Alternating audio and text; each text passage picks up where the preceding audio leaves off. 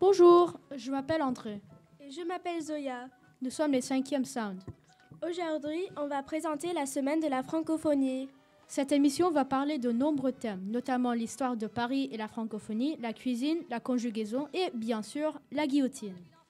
Cette semaine, on célèbre la francophonie partout dans le monde, en Europe, en Afrique, en Asie, en Océanie et en Amérique du Sud et au Nord. Écoutons notre premier reportage avec Sacha et Coco sur la francophonie dans le monde. Bonjour, aujourd'hui on va vous parler de la langue française dans le monde. Aujourd'hui, environ 300 millions de personnes parlent français. Il y a 195 pays dans le monde et 29 d'entre eux ont français pour leur langue officielle. En 2050, la langue française est estimée à être la langue la plus parlée dans le monde. Pourquoi? Il y a beaucoup de pays en Afrique qui parlent français et l'Afrique est en pleine croissance démographique. Merci. C'est très intéressant. Oui, je suis d'accord. Maintenant, on va découvrir la devise républicaine avec Nicolas.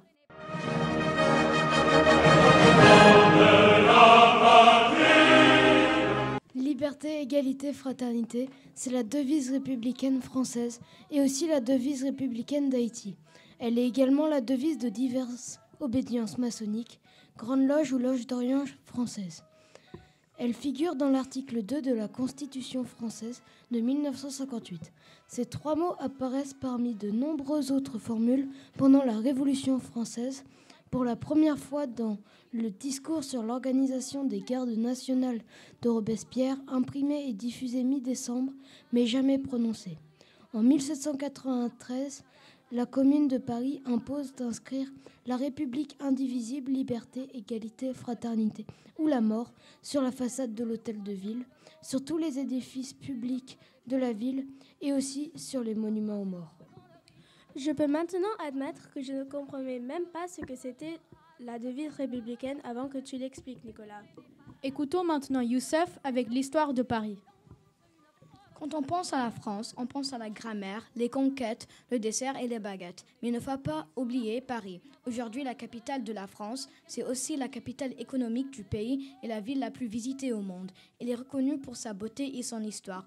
Cette ville, originellement datant du IIIe siècle avant d'être prise par l'armée romaine sous la commande de Titus Labienus, était située sur l'île de la Cité. Cependant, aujourd'hui, Paris fait à peu près 105,40 km.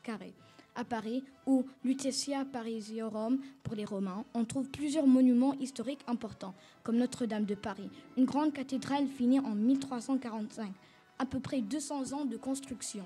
On y trouve aussi le fameux, le fameux musée du Louvre, un château fort construit par Philippe Auguste en 1190 pendant la première croisade et fini au XIIIe siècle. Il était détruit en 1202 et à sa place était construit un palais sous Charles V. Finalement, le 10 août 1793, le Louvre est devenu un musée. Ces deux monuments sont que des petites miettes du gâteau énorme qui est, qui est l'histoire française. Merci pour cette leçon digne de la Sorbonne. Maintenant, on passe à la poésie avec Laurence. La poésie québécoise contemporaine a commencé au début des années 60. Beaucoup de ces poèmes étaient de la Révolution tranquille au Québec, la construction de leur pays, la naissance, mais plutôt les parties dans leur vie qui étaient importants d'écrire. L'une des origines redécouvertes des poésies québécoises, c'était le surréalisme. Utilisé par beaucoup de poètes comme Paul-Marie Lapointe, Guillaume et Hénault. Dans les années 90, les poètes analysent leur rapport au réel autant qu'ils expriment, comme la poésie de Saint-Denis Garneau et de Roland Guigueur. Waouh, c'était fantastique! Maintenant, on faut un détour dans l'univers de la cuisine en commençant avec Achille. Quand on parle de la France, on pense très souvent de la, à la nourriture. Je vais parler du pain. Il y a plusieurs types de pain français, mais le plus fameux, c'est la baguette. Bien sûr, on pense que l'invention de la baguette a au lieu quand les boulangers de, boulangères de Napoléon Ier ont inventé la baguette pour faciliter le transport de pain aux soldats des campagnes napoléoniennes en France. Il y a environ 30 millions de baguettes consommées par jour ou 10 milliards par an. C'est juste énorme. Waouh, je ne connaissais pas autant de choses sur la baguette. On doit remercier les boulangers de Napoléon. Maintenant, on passe à quelque chose de plus sucré, grand et les éclairs. À mon tour de parler d'un pâtisserie célèbre, les éclairs. On les appelle éclairs parce que c'est mangé en un éclair, et c'est à dire très vite. Certaines personnes croient également que la pâte a reçu son nom car elle brille lorsque elle est recouverte de glace à confiture. Nous en savons peu sur l'origine de l'éclair, mais il est généralement admis que et il est l'origine de France vers le début de, du 19e siècle française. On passe à quelque chose de très exotique. Simone avec les gougères. Les gougères sont des pâtisseries simples et délicieuses, consommées énormément en France. Pour faire simple, ce sont des boules de pâte d'environ 3 à 4 cm de diamètre, cuites au four et faites de pâte à choux et de fromage, généralement le gruyère, le comté ou l'emmental. Ces pâtisseries proviennent de Bourgogne en France et aujourd'hui elles sont consommées internationalement. Vous me donnez très faim. Maintenant, on passe à la grammaire en commençant avec Lorraine. Pour notre projet, nous avons interviewé quatre élèves de CE2 et CM1. Nous leur avons demandé ce que certains mots signifiaient pour eux. Les mots que nous avons utilisés viennent d'un concours qui s'appelle Dis-moi 10 mots. Dis-moi 10 mots est une opération de sensibilisation à la langue française qui invite chacun à s'exprimer sous une, une, forme littéraire ou artistique. Il y a un nouveau thème chaque année et le thème de cette année est sur les différentes formes d'écriture. Les mots qui ont été proposés pour le concours cette année étaient arabesque, composé, coquille, cursif, gribouillis, logogramme, phylactère, rébus, signe et tracé. Le mot composé signifie quoi pour toi euh, Quand on euh, écrit des musiques et... Euh, oui. Ok, merci. Le mot signe, ça signifie quoi pour toi un, un signe comme quand tu fais quelque chose d'une autre personne peut-être peut comprendre, parfois avec les mains ou le tête. Merci beaucoup. Le mot coquille, ça signifie quoi pour toi?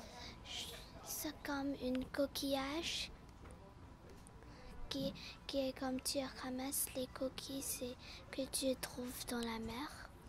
D'accord, merci beaucoup. En continuant avec la grammaire, Youssef va nous parler du participe passé et du CED. Maintenant, on parlera d'une autre énorme partie du français, une qui est plutôt ennuyante comparée au château et les histoires des conquêtes. C'est la conjugaison, ou plus précisément le fonctionnement du complément d'objet direct, COD, avec le participe passé. Alors, il faut savoir que le participe passé se conjugue en fonction du sujet, mais quand le complément d'objet est devant l'auxiliaire avoir, la terminaison dépendrait de ce complément. Il est appelé complément d'objet direct. Pour écrire un COD devant le verbe, c'est possible de l'écrire sous forme d'un pronom. Le, à l'apostrophe, la et les sont des exemples de ceci. Au lieu de dire j'ai mangé un gâteau, on peut tout simplement dire je l'ai mangé. Alors, si la phrase était je l'ai mangé, le verbe serait conjugué au masculin singulier. Waouh, c'était instructif. Maintenant, on va entrer dans le monde des inventions en commençant par Alexis. Bonjour, je vais vous présenter l'aviation française. Un des premiers avions français était le Bellerio 6, qui a été, qui a été créé entre 1909 et 1931 par Louis Bellerio. Cet avion avait une vitesse de 110 km par heure. Il, avait un construit, construit plus que 800 modèles. Aujourd'hui, on a des compagnies françaises constructeurs d'avions comme Dassault qui sont à Paris et ATR qui sont localisés à Toulouse. Il construit des avions passagers et militaires. Waouh, les avions sont vraiment fascinants. Maintenant, j'espère qu'on va pas perdre nos têtes car on a Jade avec le guillotine. On connaît tous l'invention de la guillotine? Si tu ne connais pas, j'ai écrit ce texte qui explique cette invention. Pour faire simple, la guillotine est une machine faite pour la décapitation. C'est une machine connue partout dans le pays de France. L'inventeur Joseph Ignace Guillotin l'a inventé au XVIIIe siècle. Il avait proposé un mécanisme pour l'exécution à l'Assemblée nationale. À ce point, Louis XVI a banni la méthode de la roue de, de rupture. Il voulait que les prisonniers mourussent plutôt que souffrir. L'invention a été mise en place à Paris dans la place de la Révolution. Aujourd'hui, on peut trouver dans la place de, la Concorde. La guillotine est constituée dans un grand cadre est constituée d'un grand cadre, cadre du bois et d'une lame inclinée. Le prisonnier est positionné en, en, dessous de la lame. Quand les gardes tirent une ficelle, la lame coupe le, le cou et la tête tombe dans un panier. Merci, Jade. Et je peux voir qu'on a encore les têtes sur les épaules. Oui, merci tout le monde de nous avoir écoutés. Au revoir. Merci.